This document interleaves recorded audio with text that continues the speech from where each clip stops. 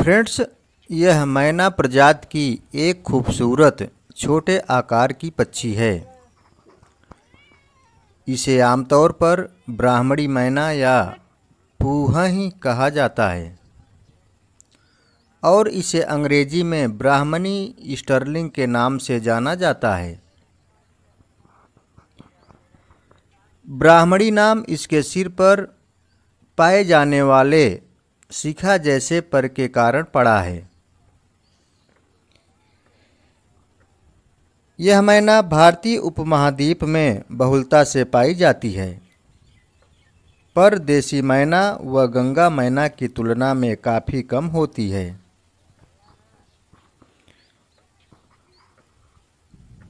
अन्य मैनाओं की तरह यह भी सर्वाहारी होती है तथा अपना जीवन बसर अनाज के दाने व कीट पतंगों को खाकर करती है।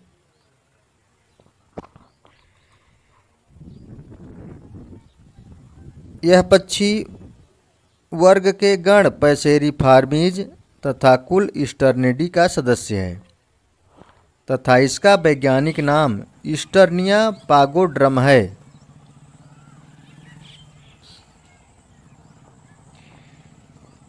यह अपने घोंसले, अक्सर झाड़ीदार वृक्षों, किसी दीवार तथा पुराने खंडहरों के छिद्रों में बनाती है।